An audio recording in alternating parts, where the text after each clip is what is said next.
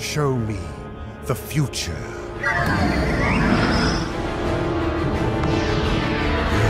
Yes.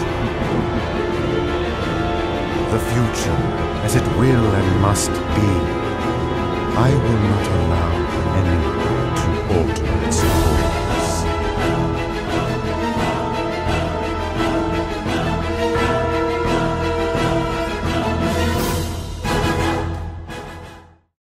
I have to say, I feel this aroma in the air that at least for YouTube and fan forums, there is some sort of division in the Zelda fandom. I've learned through negative reception of those who defend the Zelda timeline that people could see the Legend of Zelda series in two different ways. One, a connected timeline from Breath of the Wild and Tears of the Kingdom to that of the beloved, cherished previous titles, and the other, a fun sandbox series of two games that don't need a timeline and that the previous games are irrelevant and should stay in the past.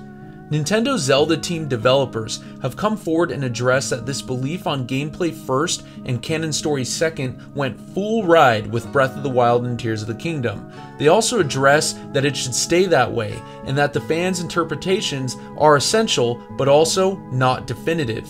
Otherwise, it would hinder the creativity of those recent blockbuster games and possibly hinder the creativity of games going forward. This drives the passion to dismantle and demolish a Zelda timeline even further.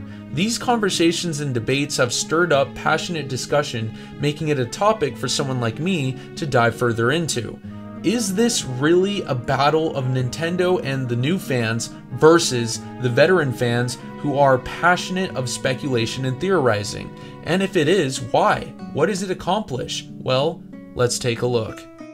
First of all, it's clear that through pretty recent interviews by IGN, Game Informer, etc., that the lead producer and director of both Breath of the Wild and Tears of the Kingdom want to fully move on from the previous Zelda conventions absolutely, and not look back. It is for sure that the Zelda team wants to keep this approach to open air games and make those games have greater precedence than any story or lore implications. With statements like this constantly being said in many interviews in the last couple of weeks and over the years, the tone has been set. This goes hand in hand with newer fans. I have a friend who does not care at all about any previous Zelda games. He literally tells me I don't care about playing anything before Breath of the Wild, only giving his focus and attention to the world of Breath of the Wild and Tears of the Kingdom. I began to meet more people who have only played those games and became fans of the series through those games as well. And combining this with the outstanding sales revenue from Breath of the Wild and Tears of the Kingdom, respectively, it's clear that the series has been reborn to many people and marked their relative interpretation of their own perception of the beginning of the franchise. This even goes as far for some to give negative reception to those who don't like Breath of the Wild or Tears of the Kingdom, and those people wanting to take the concept of the timeline doesn't matter to a greater extent. I have seen this in my own videos, especially with my recent unedited and unhinged video discussing my not so super supportive opinion on Tears of the Kingdom.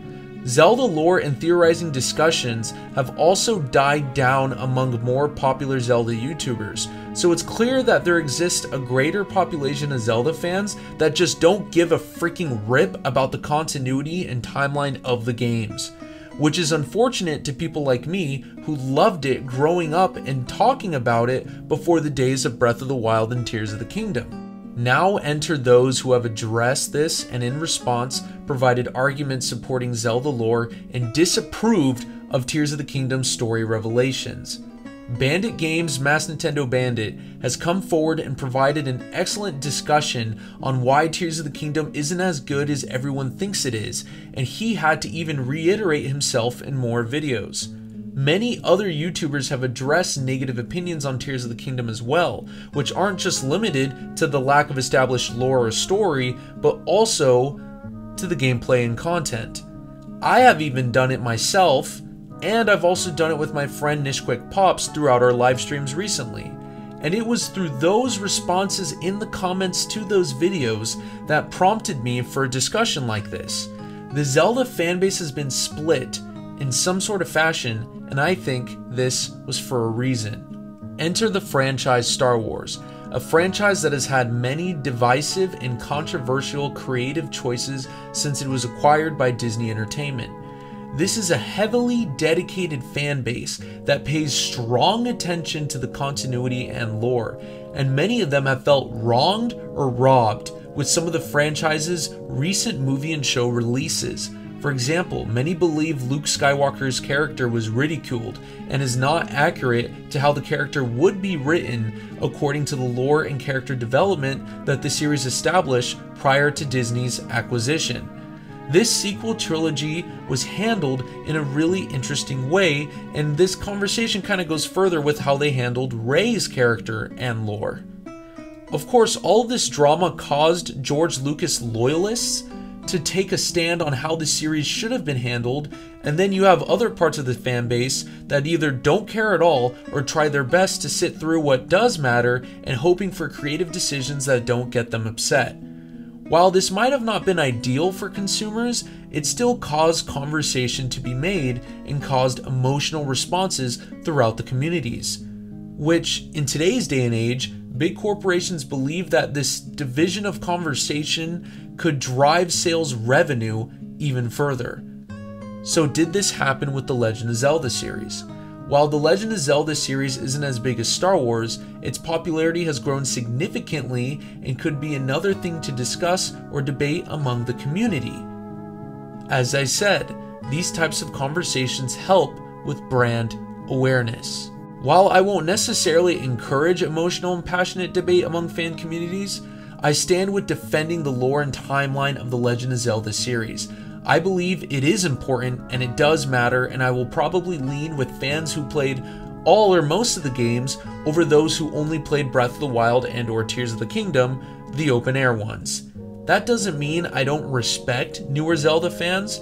I do respect them. I just think that they are unfortunately choosing to miss out on a wonderful catalog of games with amazing lore to dissect and discuss, and that also have great gameplay.